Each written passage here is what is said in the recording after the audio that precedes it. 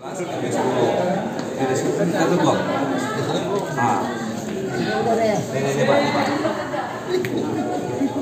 Inggris juga ya. Iya, Pak. Sembilan. Ini ngomong segan banget. Aja kagak ada ya Allah. Sini, bisa nggak? Itu pokoknya. Nanti ke ke laptopnya kali. Masih beserta jajarannya. Yang terhormat Babinsa, Babin Kantiknas Satpol PP, FKDM LMK, dan yang terhormat Ketua Panitia dan jajarannya, yang terhormat Bakal Calon Dewan Kota tingkat Kelurahan Manggarai Selatan, dan yang terhormat para Ketua RW dan RT Selatan. Salawat dan salam tidak lupa kami panjatkan kepada Nabi besar Muhammad Sallallahu Alaihi Wasallam. Semoga kita semua mendapatkan syafaatnya di hari akhir kelak. Amin, amin ya rabbal alamin. Sebelum acara dimulai, izinkan saya membacakan susunan acara terlebih dahulu. Susunan acara pemilihan bakal calon anggota Dewan Kota Kelurahan Manggarai Selatan. yang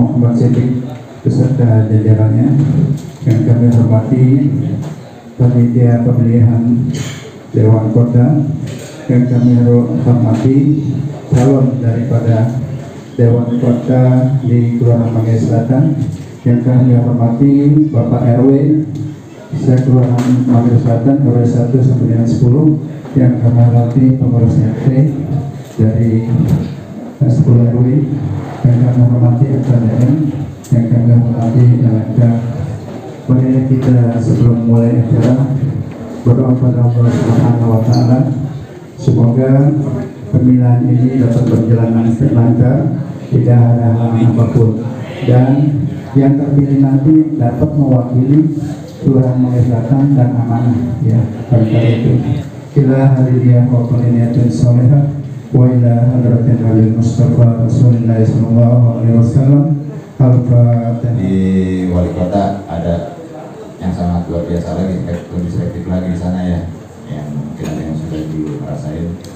Baik setelah kami panitia pemilihan kelurahan menyeleksi administrasi nah, terpilih ah, tiga calon bakal calon mewakili kelurahan Selatan yaitu nomor pendaftaran ya. Nomor pendaftaran satu nama Nugra Harsono telah lulus verifikasi administratif Nah, bisa tampil Pak untuk Anda terima penyerahan berkas. Ya. kemudian nomor dua nama Bapak Yanwar Ihwansyah dari RW 8 juga.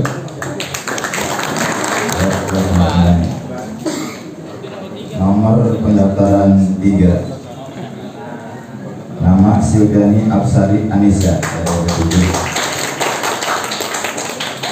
ini nomor pendaftaran ya Pak, nomor urut. Baik. Untuk memberikan waktu mudah-mudahan kita semua oh ya saya terima kasih yang telah hadir di sini badai hujan sudah datang sebagian masih ada yang kering bajunya juga gitu. Hebat tuh yang kering bajunya baik terima kasih atas kehadirannya untuk mendukung acara ini untuk semoga ada aspirasi warga yang sampai ke tingkat yang lebih tinggi mewakili Pulau Mangga Selatan mudah-mudahan kepilih ya. Dan dari tiga calon kita ini berkah amanah dibawa kalau sukses. Indonesia Allah. Baik dari saya sebagai ketua panitia pemilihan cukup sekian Mengamankan puji syukur Ta'ala yang mana pada pagi menjelang siang walaupun tidur hujan tapi Bapak Ibu tetap semangat hadir pada pemilihan dekot ini karena mungkin Bapak Ibu yang hadir akan memilih bakal tiga calon ini. Kayak pemilihan ini kayak pilpres juga. Ada tiga ya jadi 01, 02, 03 jadi siapa pun yang menang itu pilihan dari bapak-bapak dan ibu-ibu. Dan tidak lupa juga salawat dan salam kita panjatkan pada Nabi Muhammad SAW beserta para keluarganya. Selanjutnya eh, tadi bisa sampai oleh ketua panitia bahwa pemilihan dekor ini sesuai dengan aturan. Jadi tadinya saya sempat deg-degan juga cuma ada satu perempuan imbauannya tapi nambah lagi nambah alhamdulillah jadi tiga. Jadi nanti tiga calon ini akan bapak ibu pilih mana yang sesuai dengan visi misi bapak ibu. Nanti setelah pemilihan ini akan kita usulkan ketika kecamatan sampai tingkat kota.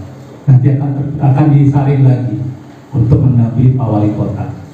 Jadi terakhir kemarin eh, dari wanita dari perwakilan Bukit Duri Bu Laksmi jadi memang ada kuota perempuan untuk eh, masuk ke dalam jajaran Dewan Kota. Minimal 20% para wanita harus masuk. Jadi kemarin Bu Laksmi yang terpilih. Ada dua. Eh, program studi cabang saya lupa di mana jadi mudah-mudahan nanti bisa tiga orang perempuan terpilih mendampingi Pak Wali Kota menjadi Dewan Kota. Jadi sama juga Dewan Kota dan LMK sama. Kan bedanya sana Dewan Kota di sini LMK. Sama info juga tadi terutama Pak Babiza, Pak Menol, selamat bergabung kembali di Dewan Bangsa Selatan. Terus bakal calon, jangan tegang. Alhamdulillah ada perempuan satu, dua yang ganteng, satu cantik, satu dua ganteng. Jadi satu lagi Pak tengah-tengah, harusnya perempuan di tengah-tengah nih. Tapi di, belum diundi ya Pak ya? Belum diundi ya? Jadi nomor satu siapa? Oh satu, dua Pak Teton ya, tiga Pak Pak Wali Anwar. Ya selamat Bapak calon Dewan Kota eh, dalam pemilihan kita hari ini. Mudah aman, tentram dan lancar. Jadi jangan gontok-gontokan ya Pak. Siapa pun yang terpilih, itulah pilihan warga Magelang Selatan atau perwakilan dari RTW yang memilih. Wal hidayah. Wassalamualaikum warahmatullahi wabarakatuh. panitia uh, ingin membacakan terlebih dahulu tata tertib pemilihan anggota Dewan Kota. Saya sebelumnya mengucapkan terima kasih buat bapak-bapak ibu-ibu pemilik yang sudah memenuhi undangan kami dan kelihatannya kita udah sangat penuh. Yang tadi diperkirakan anggota mungkin 50 plus 1 ternyata melebihi. Alhamdulillah kami sebagai anggota ketua panitia mengucapkan terima kasih atas bapak ibu semuanya. Baik, kami akan membacakan uh, terlebih dahulu tata tertibnya. Para pemilih bakal calon anggota Dewan Kota Kelurahan Selatan adalah para ketua RW dan para ketua RT sekelurahan Manggarai Selatan. Dilakukan dengan cara mencoblos. Ah, nanti ada kertas suaranya ada tiga gambar, nanti itu ah, dia lakukan pencoblosan. Dan itu ada tertib juga apabila uh, pencoblosan itu ada di dalam kotak suara, di dalam kotak gambar peserta. Itu yang dinyatakan sah. Di luar dari itu tidak di tidak sah uh, suaranya. Yang ketiga, para pemilih diharuskan membawa surat undangan. Alhamdulillah tadi sudah cek uh, semuanya sudah membawa surat undangan. Yang keempat yaitu batasan minimal kehadiran jumlah pemilih dengan ketentuan quorum kurang lebih 50% plus satu alhamdulillah kami sudah memenuhi semua quorum dan memenuhi syarat untuk dilakukan pemilihan. Yang kelima yaitu apabila tidak memenuhi quorum ditunda paling lama dua jam. Silviani Arsari Anissa, biasa dipanggil Silvi atau lebih akrabnya dipanggilnya Ica. Rumah saya di RT 9 RW 7. Kemudian saya merupakan lulusan dari Fakultas Ilmu Keolahragaan Universitas Negeri Jakarta, program studinya olahraga rekreasi.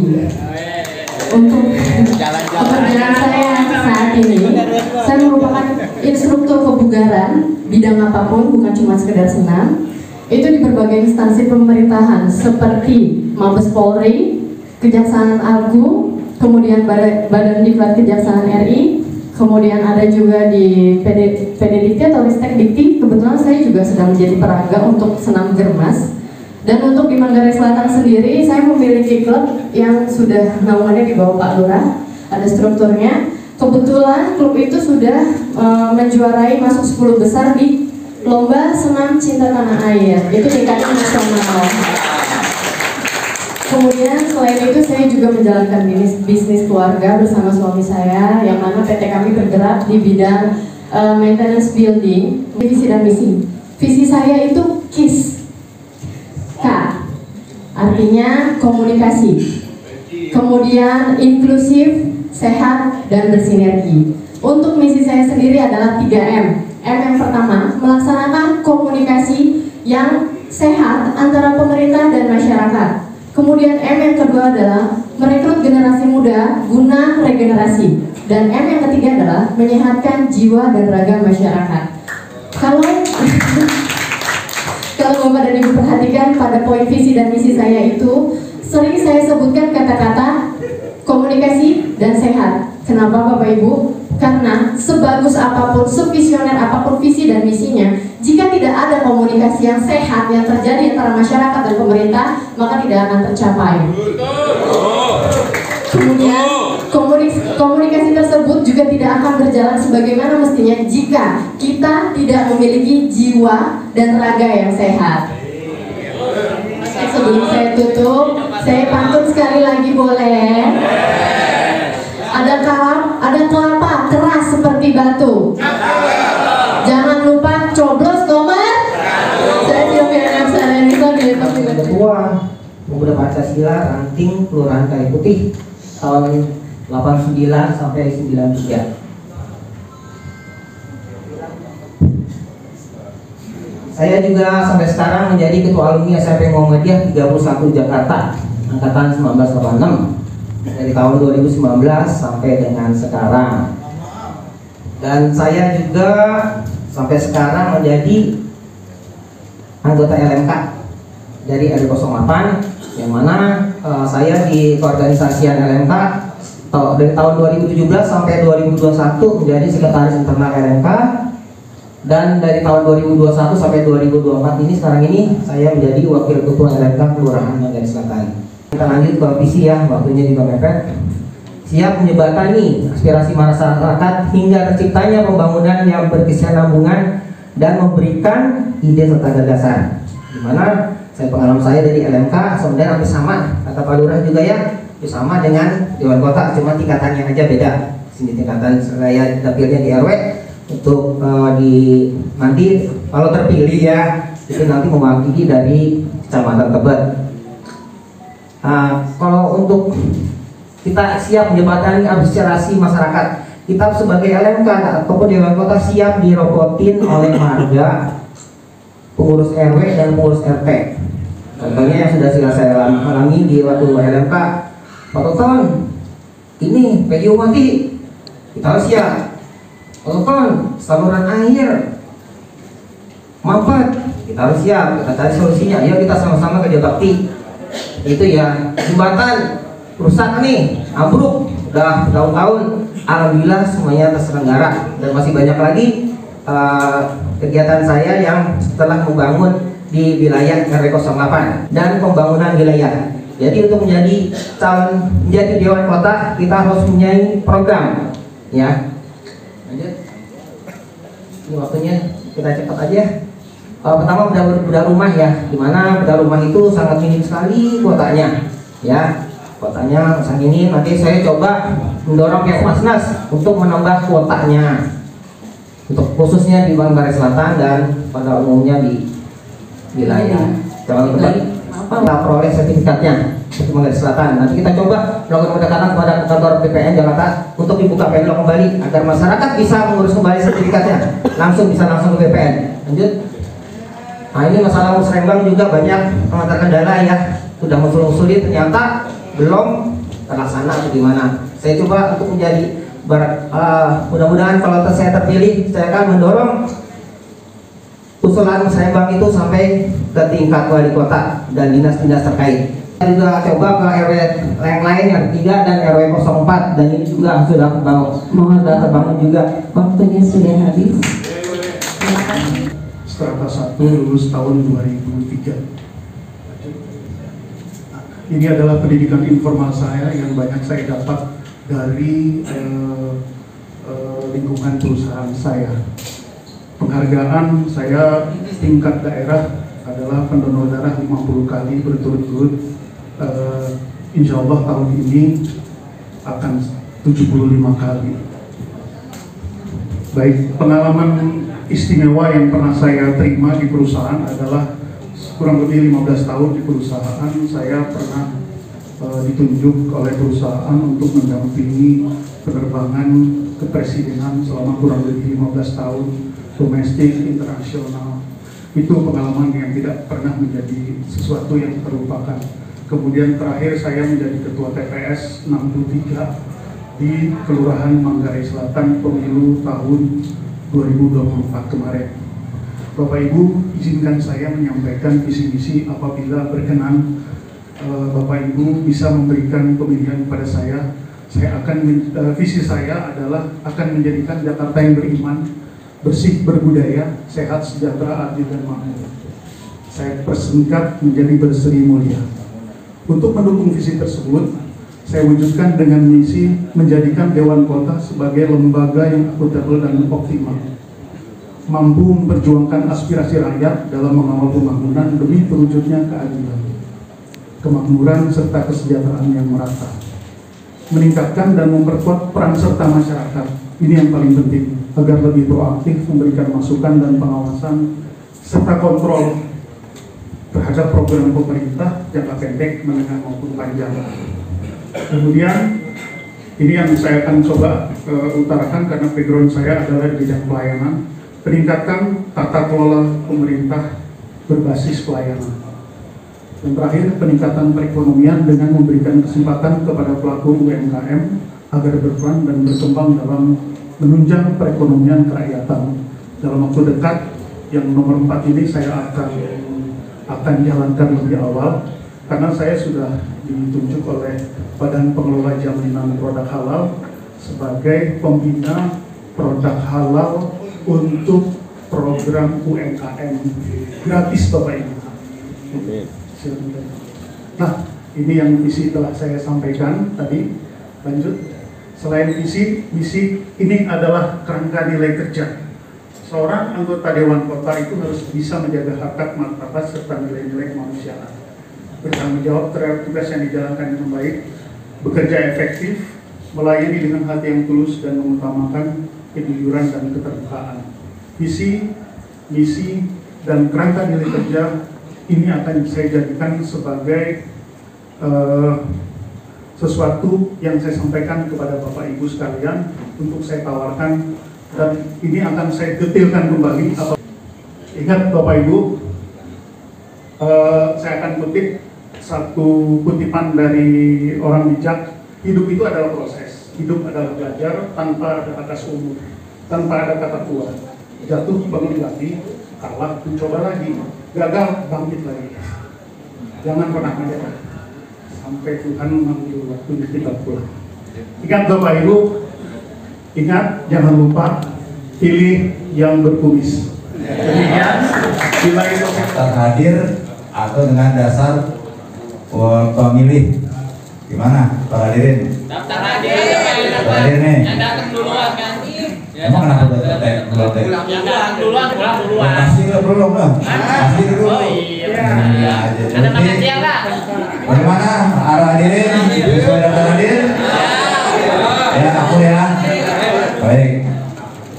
Nah, dengan ini kita mulai.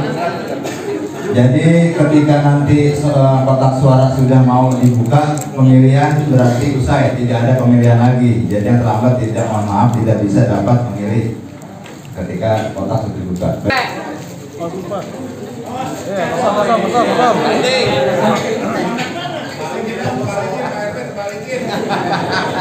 Keluar foto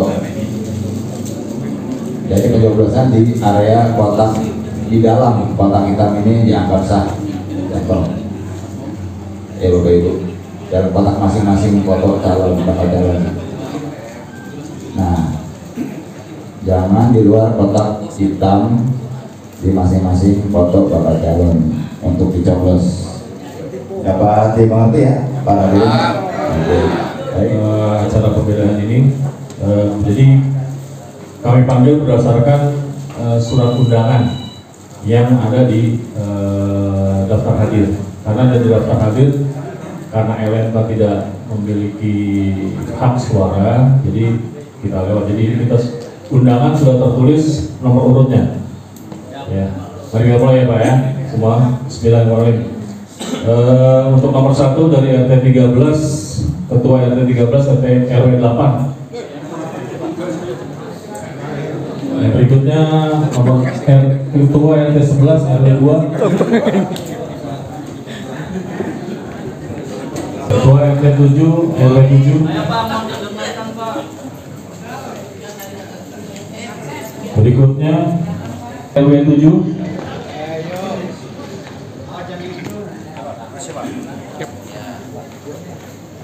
RT 10 RW 3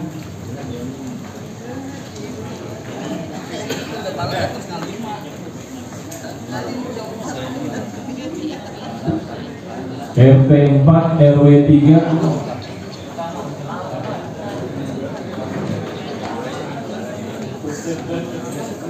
RT 5 RW 5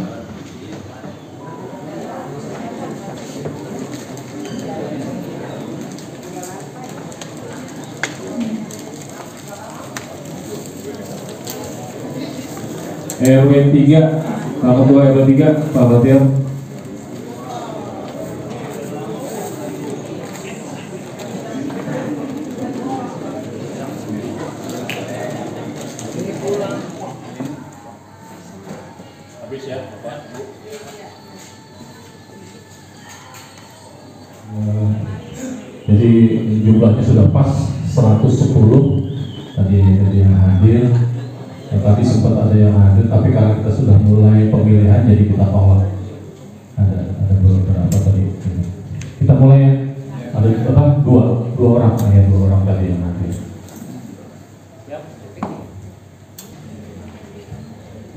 Nomor tiga.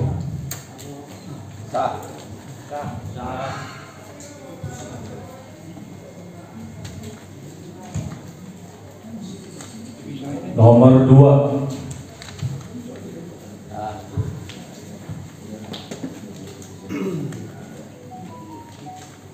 Nomor dua.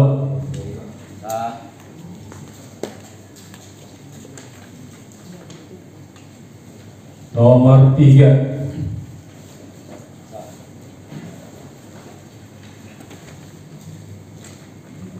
Nomor tiga.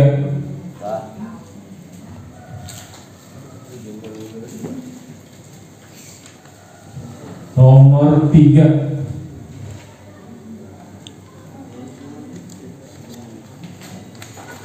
Nomor dua.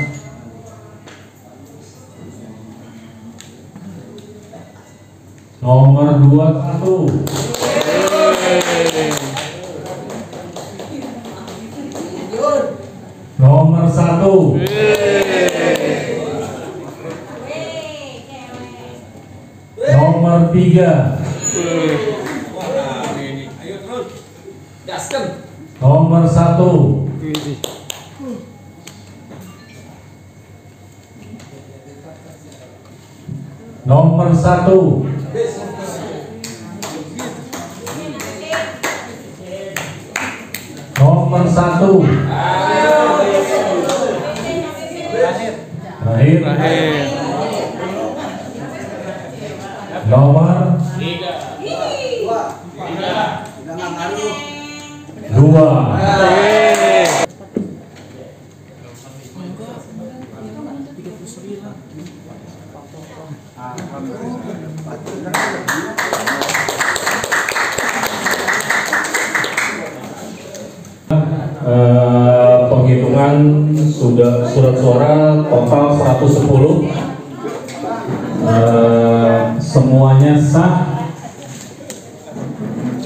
Nomor urut satu mendapatkan jumlah suara sebanyak 28